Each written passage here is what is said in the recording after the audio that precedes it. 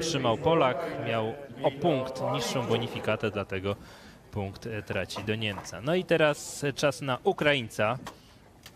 E, Dmitro Paliczuk.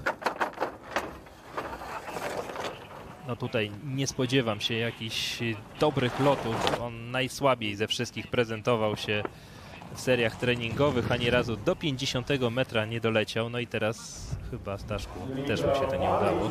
Tak, zastanawiam się skąd on się tutaj wziął. 44,5 metra, no to jednak wynik dość znacznie odbiegający tutaj poziomem od reszty stawki. No, 16-latek, Forochta, y, klub na zachodzie Ukrainy. No i